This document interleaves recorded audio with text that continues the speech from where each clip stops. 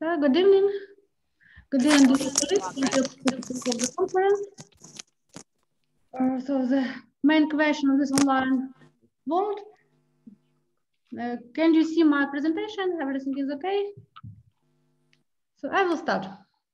Uh, the title of my talk is on spectrum of random partial wreath product. I will start with the definition of a partial wreath product. I just recall this definition. Uh, let S be an arbitrary semigroup and X be some set. And for this semigroup S, we define a set of functions. Uh, these are functions which act from the subsets of the set X to the semigroup S. And on the set of this function, we introduce the product of functions f and g. And the product is defined by the following rule. You may see it on the screen. And here we have to pay attention to the domain of a product.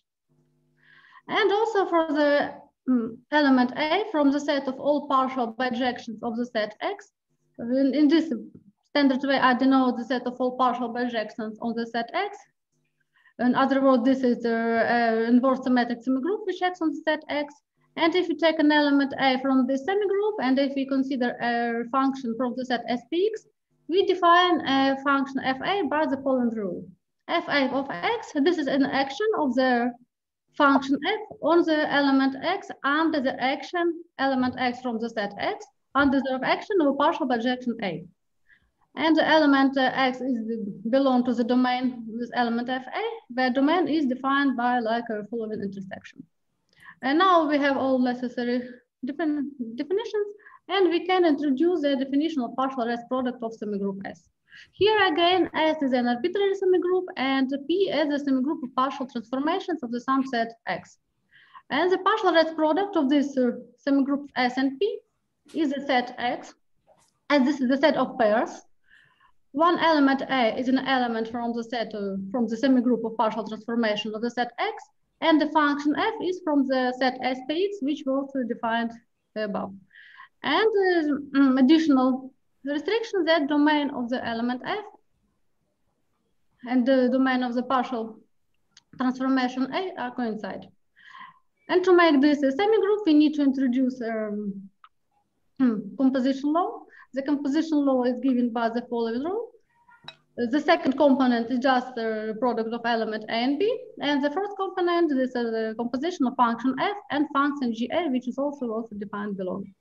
And further on, we denote the partial wreath product of semigroup S and semigroup P, which act on the set X, like uh, almost like a standard partial, like a, almost like a standard wreath product, but the only difference in, in notation, this is letter P, which comes, I think it's quite natural from the word partial. And it's uh, not uh, difficult to prove that partial wreath product of two semigroup is a semigroup again. And if you consider two inverse semigroups, the partial wreath product of inverse semigroups is an inverse semigroup. We can recursively define a partial wreath product of any finite number of semigroups. Uh, and the partial wreath product of finite number of semigroups is again a semigroup. In case of inverse semigroup, this is an inverse semigroup.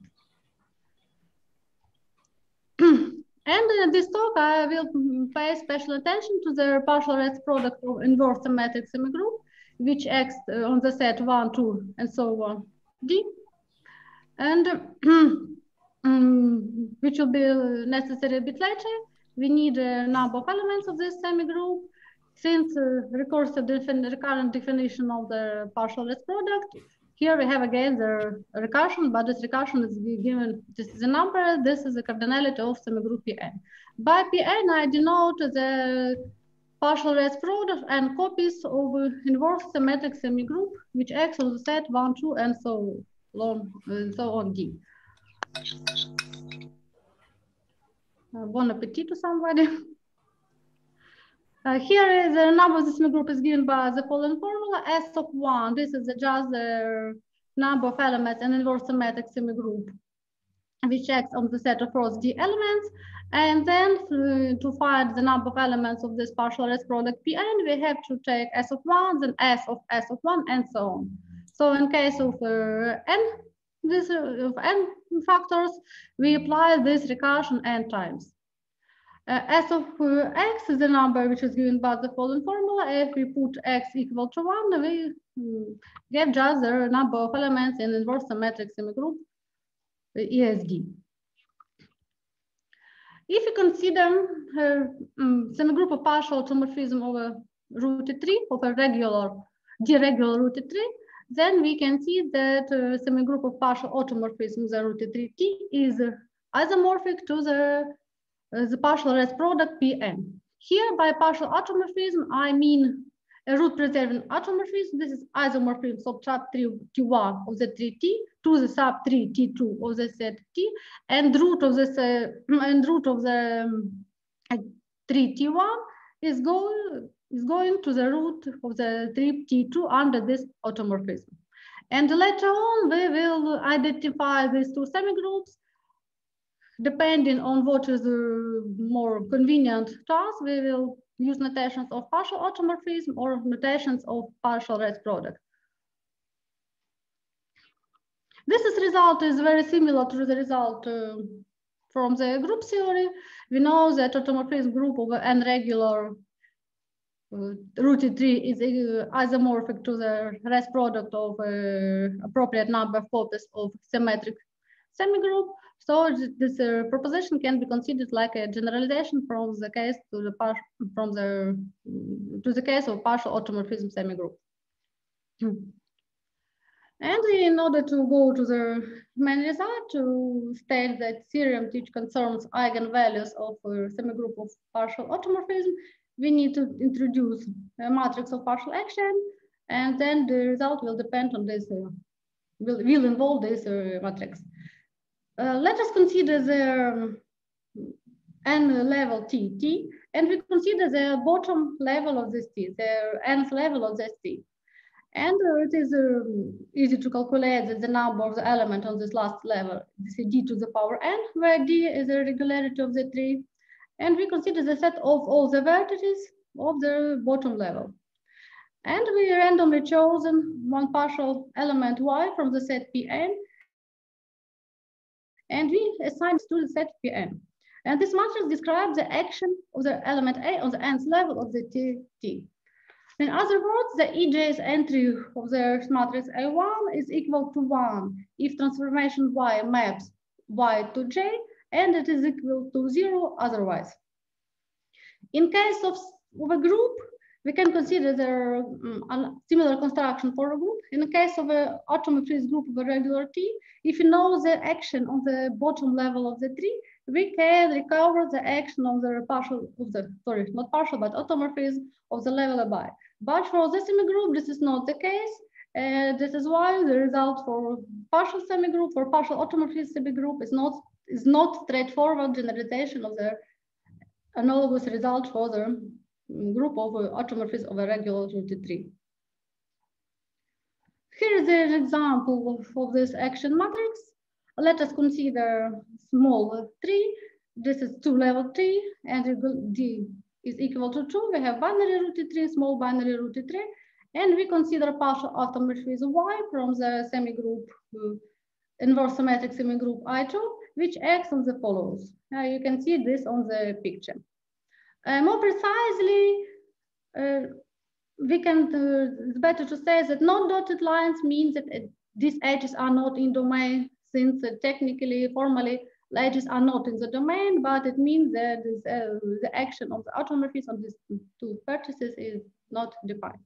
And then the corresponding matrices look like that. Uh, these elements, are, these two, two vertices, then and moving under action of the automorphism. So we have two ones and the actions automorphism on these two vertices is not defined. So we have here zero. So we have the corresponding matrix A1. In this case, it looks like that, like a diagonal matrices with two ones and two zeros.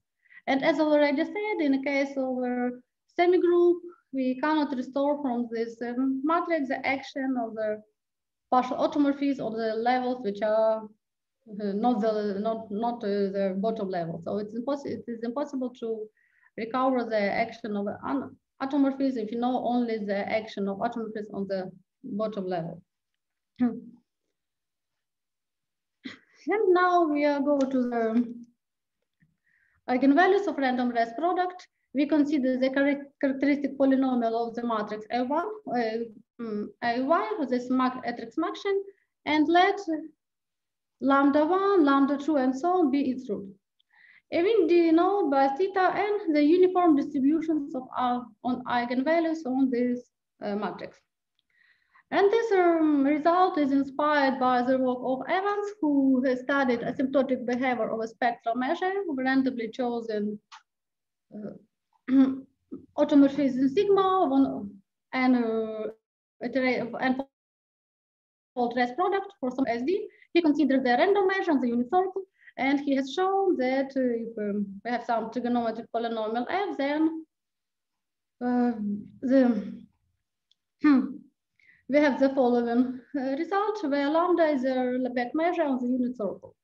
And it means his result shows that this random measure converges weakly in probability to element as n goes to zero. And uh, the idea was to generalize this result of Evans as the case of partial automorphism. So as I already told, unfortunately, it was not a straightforward generalization, but on the other hand, it was more interesting if we had all the straightforward generalization. And the main result that we have in the case of partial automorphism, we show that asymptotically, as the level goes to, the number of levels go to the infinity, the fraction of non-zero eigenvalues converges to zero in probability. So almost all the eigenvalues for this random wreath product are zeros. And as I sketched some um, steps of the proof, uh, this proof is main, mainly technical. There are some steps from uh, different uh, lemmas involving a number of elements. We have considered number of elements uh, for some different cases. We introduced two types of rank. I just and briefly sketch a couple of ideas of the proof. If you consider partial automorphism y from the set Pn, and let us consider the fraction of zero elements of the matrix Y, matrix Ay, of this uh, matrix action. And let's consider by the zeta n, we denote the fraction of non-zero eigenvalues. So we have to prove that the number of zero eigen, eigenvalues uh, goes to one if n goes to the infinity, or equivalently, we have to show that the number of this, uh, the fraction of this non-zero eigenvalues goes to zero when n goes to the infinity. But thanks to Markov inequality, we, it is just enough to show that mathematical expectation goes to zero as n goes to infinity. And um, the result, it follows from the almost uh, immediately after we have these estimates. So if you consider the set of indices of vertices at the bottom level, which uh, we can tell survive under the action of y, under the action, more precisely speaking, of all powers of y. And uh, we consider the number of such elements. And I call this uh, number like ultimate rank maybe it's not the best choice, but in order not to confuse with the standard rank. So the number of the surviving elements, it means that elements that we act several times or um, by the atom fuse I on this element, and uh, this, is still defined. What do I mean by the word survive?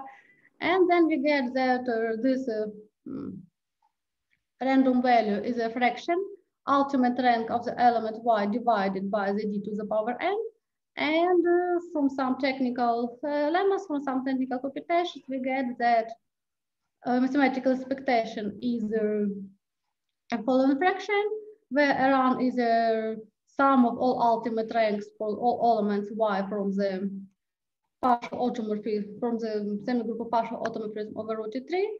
And this number goes to zero when n goes to infinity. Uh, so the, the result is that as the number of levels goes to infinity, the number, the fraction of non-zero eigenvalues goes to zero in probability. So thank you for your